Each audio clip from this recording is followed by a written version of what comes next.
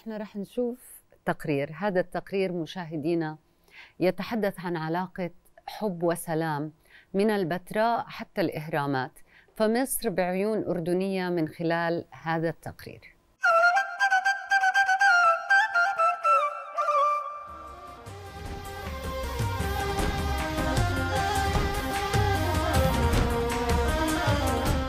مساء الخير مشاهدينا من استديوهات التلفزيون الأردني. مساء الخير لكل الوطن العربي عبر برنامج بيت للكل. طبعا عطفا عما تحدثنا به داخل الاستديو اليوم من استديوهات التلفزيون الأردني سنسلط الضوء على العلاقات الأردنية المصرية وهي العلاقة التي تقدم كنموذج للعلاقات العربية العربية المتميزة الناجحة. هذا لم يأتي من فراغ إنما جاء من إرادة القيادتين للدولتين وأيضا هنالك تعاون على كافة المستويات شهدت نجاحا كبيرا سواء كانت على المستوى السياسي أم الاقتصادي أم الثقافي وغيرها. العلاقات الأردنية المصرية سنتحدث حول هذا الموضوع فاسمحوا لنا نرحب من استديوهات التلفزيون الأردني بسعادة النائب الدكتور هايل الودعان التعجة أهلا وسهلا فيك سعادة يا مرحبا أهلا فيك. هذه العلاقة علاقة مميزة نعم صحيح. جدا. لم تأتي من فراغ. اولا هنالك يعني جهود كبيرة جدا لجلالة الملك عبد الله الثاني والرئيس عبد الفتاح السيسي. إرادة قوية جدا وهنالك أيضا محبة ما بين الشعبين على كافة صحيح. المستويات. ما هي أوجه النجاح في تلك العلاقة؟ شكرا. حقيقة زي ما تفضلت بلا شك أنه العلاقات الأردنية المصرية تكتسب أهمية خاصة.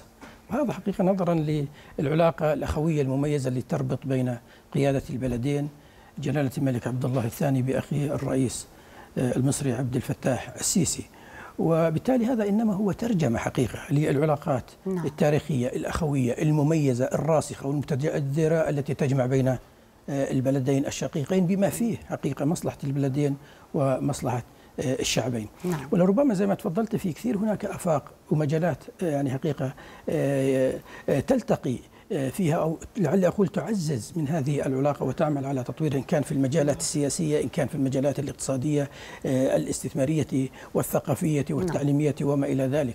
وإحنا بنعرف حقيقة أن الأردن الآن يعني حقيقة دائما في مصر تكاد أقول إنه يعني أكثر ما يميز الآن العلاقات الثنائية اللي دعيني أقول اللي هي ربما تكون متكررة ما بين قيادة البلدين لا بل على صعيد الوفود المتبادلة ما بين في كافة القطاعات. وهي حقيقة هو يعني عذرا للمقاطعه دكتور. العلاقة تأسست منذ استقلال الدولة الأردنية في عام 46 46 صحيح. لكن نود أن نركز ما بعد ثورة يونيو. صحيح. ما هو السر في هذه العلاقة اللي أصبحت بارزة في كافة المستويات؟ نعم بالضرورة. وبعدين ثم أنه الآن هي أصبحت حقيقة هي علاقة نموذج للعلاقات العربية العربية الناجحة والمميزة كما أسلفت حقيقة في حديثك.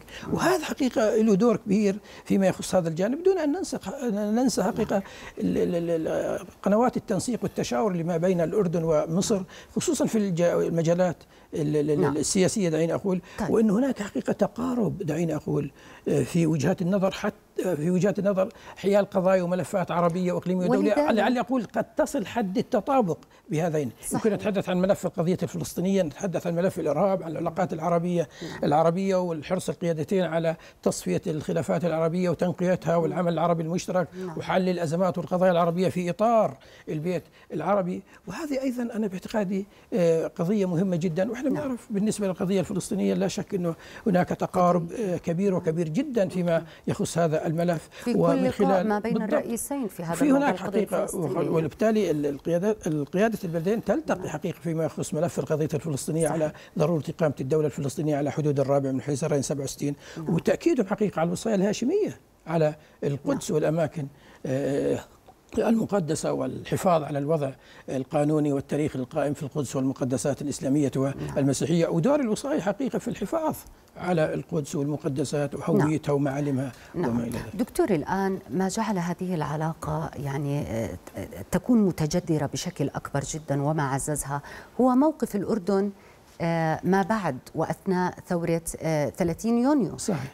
موقف القيادة والشعب الأردني اتجاه هذه الثورة. نحكي في هذا الموضوع وكيف نظر الأردن لهذه الثورة. هو بلا شك أن الأردن تعرف في حقيقة رحب في هذه الثورة هذا شيء معلوف وبالتالي وهذا عكسته حقيقة العلاقات اللي أنا حكيت عنها والاهتمام قيادة البدوي في تعزيز هذه العلاقات ما بينهما. وأنا زي ما أسلفت انه حقيقة العلاقات في حرص حقيقة كثير. نعم. دائما ما في تنسيق وتشاور أردني مصري حيال الملفات والقضايا. خلينا نقول اللي تشهدها المنطقة لا بل ولا نظير وربما دعيني أقول الآن الدور اللي بتلعبه الدبلوماسية. صحيح. في كلا البلدين حقيقة انعكاسا للدور المحوري لهما في المنطقة في مواجهة التحديات والأخطار نعم. التي تواجه المنطقة وتواجه الدول العربية تحديدا نعم سعادة النائب السابق الدكتور هاي الودعان الدعجة المحلل السياسي وأستاذ العلوم السياسية أهلا وسهلا فيك في برنامج بيت للكل شكرا, شكرا.